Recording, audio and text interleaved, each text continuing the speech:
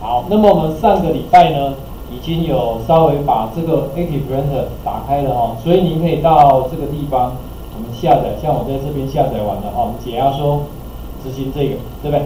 那么我们上次呢是找了网络上的影片，把它下载下，对不对？好，把它下载下。那么这是一种方法。那么其实呢，如果说哎有些时候，因为刚好最近有有时候会需要录一些那个电视上的广告，就是我可能 YouTube 上还没有找到，可是呢有一些直播的直播的电视台，它上面的广告，我想要把它录下来，当做是一个什么教材。那么其实你也可以利用什么 Active Printer 来做。所以你看到我们在这里哦。在这里有没有？我这里有一个网络广播，那个网络电视直播的，它整理的是台湾的，好，整理的是台湾的。当然也有一部分是那个，就是像美国的啦，还有法国的啦，还有半岛电视台啊，哈，还有欧洲新闻的。如果说，哎，你可能对这个有兴趣，比如说，哎，我我的可能是像我比较常看那个公共电视的，哎，我就直接连过去喽。它这个都是 live 直播的。好，live 直播的哦，那影片中断哦，它 有的是因为有版权的关系啊，所以会有影片中断哦。好，比如说大爱的，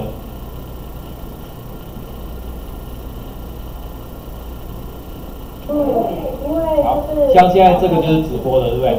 那你就可以，可能你会有需要，你就可以把它录下来，好，就可以把它录下。那你看我们一样。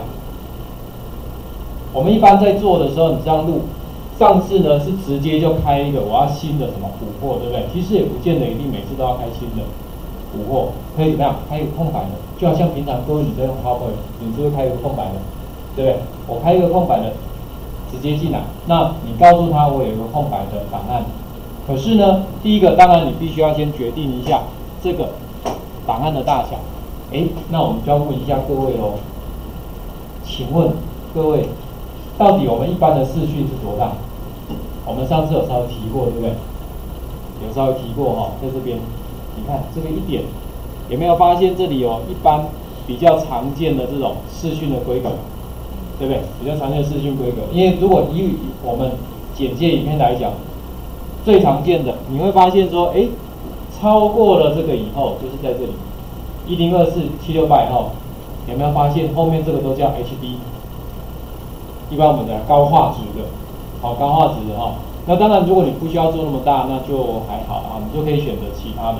原则上呢，我们的 DVD 就是这个规格，七二零四八零。好，DVD。那 HD 呢？这个一二八零七零二零，或者是什么一九二零乘一零八零，这我们称作 Full HD。哎，我会考考各位，顺便考一下各位一件事情。我看一下我弯路上我有没有把那那一题把它放进去，可以先做一点点小测验哦。先暂停一下，我们来这边看一下任务里面，啊，我把那一题把它放进来，我看一下测验单。好，这个地方等一下麻烦各位稍微重新整理一下页面啊，在任务里面的研习讲义这边。我们常常会看到这个 YouTube 里面，或者是一般的影音都一样哈，影音的网站都一样。我们在下面这边，如果你按下播放的时候，各位是不是都会看到一个这个东西？有没有？请问这个数字代表什么意思？我们可以知道一件事情：数字越高，请问品质是越好，对不对？那这个代表的是什么意思呢？到底是影片的宽度，还是影片的高度，还是其他？你认为我在骗你的那一个？给你试看看好不好？One No，这个可以做测验的，你就选好了之后，然后上面是有一个叫提交结果，对不对？等一下我们来看看大家平常有没有注意到这个部分，好不好？来，我先这个先让大家试一下哦，你可能要稍微重新整理一下哦。来，各位，我现在是用跟你们一般的就是学员的账号进来。你进到任务里面之后，右上角这边不是有个叫进度吗？有没有？好，你把它按一下，因为我统计有开放，所以你们看得到。那这每一个教材，你就可以知道说，哦，大家的学习情形有没有？这样的学习情形，这个就是还在进行中的，有没有？表示说他可能还没有看的，但是还没看完嘛。这个就是你已经有看完了这样子哈。好，那我们的是最后一个教材嘛，所以你点一下，这样有没有看到统计情形的？对不对？哎，请问可不可以做第二次回答、第三次回答？可以的。如果万一你觉得不大保险哦，你押宝押错了，你可以再回答一次。但是呢，老师这边会看到，比如说你点像这个点进去哈，我们下面有没有看到谁回答什么？有嘛哈？那其实呢，如果你有回答两次、三次的话呢，这上面也看得到。不过那个还好了哈。那另外呢，如果你真的哎觉得嗯这个好像我不大会的，其实也可以做一个笔记哦。你看我们在右上角这里，还有两种笔记，一个是显示笔记，有没有直接从这边输入？这是文字式的笔记哈。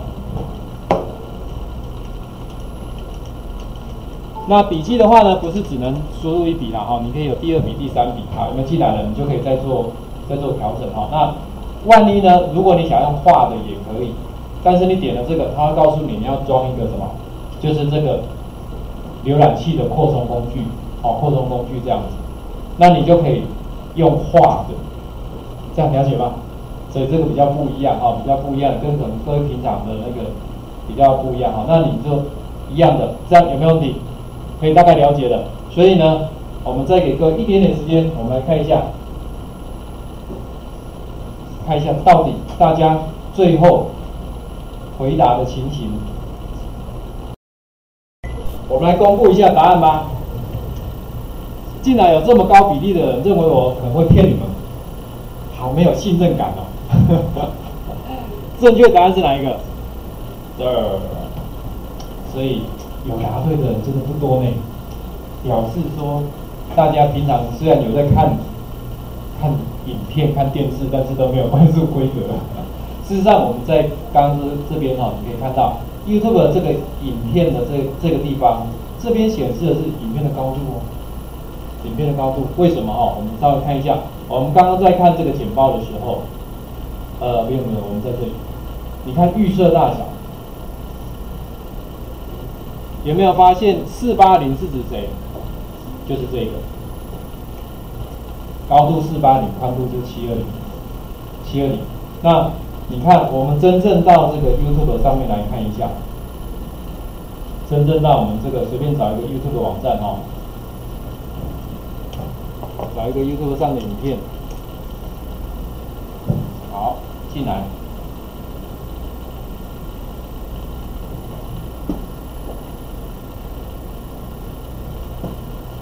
好，我们看看这边哈，这里，耶哇，怎么这么巧都是这个哎，看有没有比较大一点的，哦，是高画质的，可以，有没有到七二零？有没有发现七二零以后就一个一个 HD 了？七二零是指谁？你回过来这边看一下，这就是一二八零乘七二零，这样了解吗？那请问有没有再更高的？当然有喽。所以如果说我们找什么 2K，你会找到有 2K 以上的那种影片。那我们来找看看，你看这里有没有发现一直高上去？有没有？高进来？请问有没有 4K 的？有，有 4K 的。这个点进去，有没有更高？可是这都是高度哦。当然 HD 以后的都是16比9了，所以你可以反推回来，知道宽度是多少啊？对不对？请问四 K 上去还有没有？答案当然是有，还有八 K 的。但是呢，说真的，这些影片你真正要在我们电脑里面编辑哦，事实上是真的有点困难。有没有发到四三二零 P 的高度哦？哦，高度哦。那我们一般来讲，现在电脑上哦，如果就是一般电脑，你要能够编辑的比较顺畅的，应该还是就是我们讲的 Full HD 这个规格。你在这个上去，可能你的整个硬体配备就要再升等一下，会比较 OK。好，所以这个是我们在这边。那回到我们刚刚最前面讲的，就是你在设影片大小的时候，有没有发现为什么它预测是这么大的？对不对？因为常见的影片大小是这些，啊，是这些哈。所以你就可以先开一个空白的，然后呢，这个就是我们要的什么？幻灯片就是我们 PowerPoint 讲的投影片。好，投影片你要先要几张？你可以自己决定。万一你在这里没有设定也没关系，不要难过，确认一下，现在是空的，对不对？你到幻灯片这边自己增加一张幻灯片，有没有进来了？这样是不是进来了？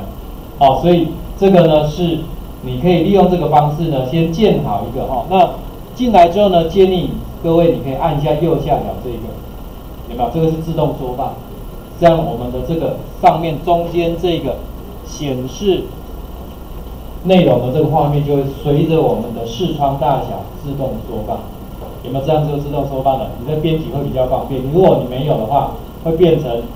太大或太小哈，就是这个地方我们通常会按一下哈，通常按一下，这样有没有问题？没有哈。那么，所以你到这边的时候，你再来做所谓什么录影也可以。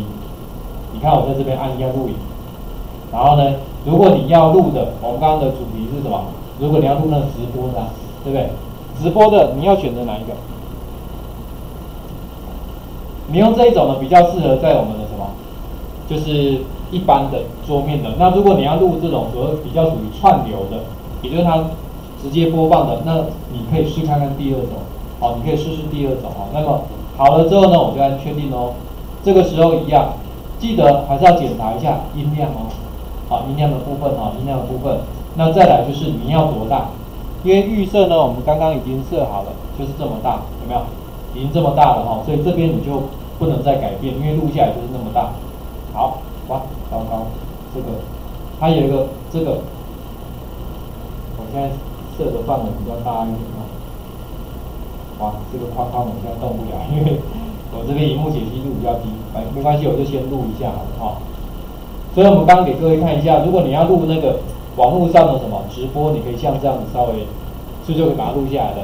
那在这边其实有个好处哎，如果它是用 YouTube 来当做是直播的，虽然我。目前这个时间它是直播到这里，可是你可以往后退哦，你可以往前退，退到有没有最多超过四个小时之前，这样你了解吗？因为有时候你刚好没录到啊，或者不小心上个厕所回来哇，节目可能我要的那个片段就过了，对不对？所以你可以随时再倒退回四个小时左右之前的内容，等于说你就有一个什么，有一个伸缩啦，不会说因为我今天啊糟糕这样没有了我就。下次要等到它，等它就等到它重播的时间，不然就网络上慢慢找。这样你你有了解了哈？所以我利用这个方式呢，我把它录下来了。那我们这个 a t Print 的快速键是什么？还记得吗？如果不知道的，你可以来这边找到它那个图有没有？你把它点一下，有没有跑出来？这样就跑出来了。那快速键是 End 哈，键盘上的 End，你可以暂停或停止。比如说我这样把它停止，OK，它就会把你抓进来，有没有？这样就抓进来了哈。所以你等于说，哎，我可以利用这个方式呢，我们就可以来这边做所谓的剪辑。那么我们上次怎么剪辑？你知道你在时间轴上面，时间轴上面稍微点一下就可以了哈。时间轴上面稍微点一下，它的指针是不是就跑出来了？这个指针就会跑出来。好，假设哎，我可能啊，刚刚这一段其实是多的哦，前面这一段你看，我可能从前面这里。开始，那你会发现，我们在这个地方有没有？它左右有两个头。其实我跟你讲，你现在在用这个 a t Print，待会进到我们的威力导演，看起来就一模一样，也是一模一样的啊，也是一模一样。所以呢，你就把这个头，假设你要有一个范围的话，哎，这里到这边我不要，那我再往后退。好，我的节目是从这里开始的。好，那这里不要，你看剪接相关的功能在这边。有没有？我那一段是不要，就把它剪掉，删除范围。好，我们就把它删掉喽，删掉。好了，这样我的这边就通通都是我刚录的这个范围。这样有了解了哈。所以你可以透过这个方式的话，我们在 a d p r i n t 里面，它因为操作说真的还蛮像我们的什么 PowerPoint 的，所以有没有觉得还是有一定的熟悉感？即使你上个礼拜没来的。还 OK 嘛，对不对？好，那就画面先还给你，给你试看看了，好不好？哎，至少软体还不会没关系，但是有长知识了，知道那个是高度了，哦。